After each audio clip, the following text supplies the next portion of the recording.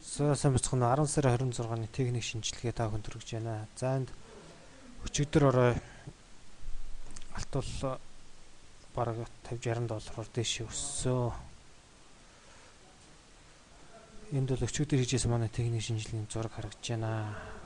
1600 70 80 90 гэсэн цэгүүдийг сэт зохиж гараад 1700 гэсэн цэгийг дагаад 1715 хүссэн цэгийг хийгээ явж байна. За эндээс одоо хэрэг өсөлт өргөлжлөх юм бол энэний дээр эхний ээлжинд 1730 гэдэг цэгийг сэтлэх хэрэгтэй.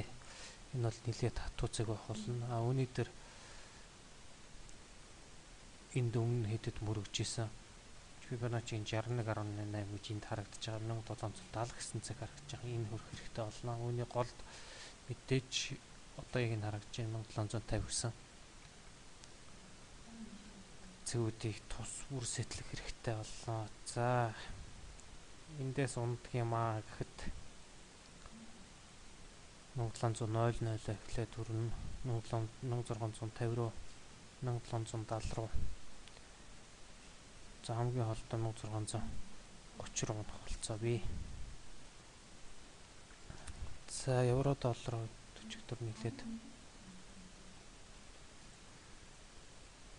нэлээс авалсан энэ одоо 1950 гэдэг цэг бол нэлээсээ хамгаалах цэг болж өгч байна. Энийг сэтэлсэн тохиолдолд 140 гэдэг цэгийг бол ямар ч хэсэг хөрөх байх гэсэн тамгатай байна. Одоо Европод сайн мэдээ гарах юм бол эндээс бүр дэше 140 41 рүү ч хүртэл явах болцоо би.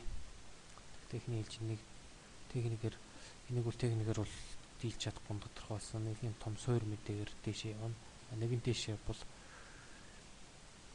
41 гэдэг цэг рүү бол очих хүчин чадал бол бий. За одоо эндээс улд орж ирэхэд одоо 38 50 гэдэг цэг бол бас нэлээд хамгаалж байгаа нь тодорхой байна. Эндээс нэлээд доош унлаа гэхэд 37 70 гэсэн цэг рүү нь хулцаатай техник хэлж бид 6 38 50 руу чиглүүлээд тавьчихъя. За өөр нэг сонирхолтой болоод бол долларын нэг хөдөлгөөн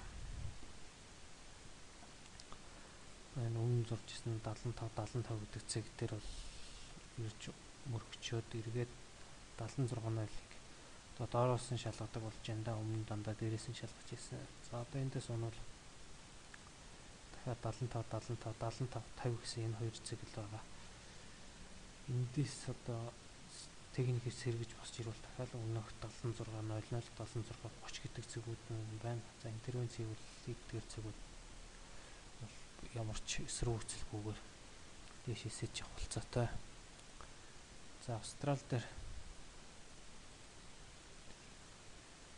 бодлогын хүүгээ өөрчлөхгүй байсантай холбоотойгоор 1.5 гэдэг нэлийн хүчтэй саппорт цэг resistance цэгээс бол бараг 140 компьютер доошоо унчлаа.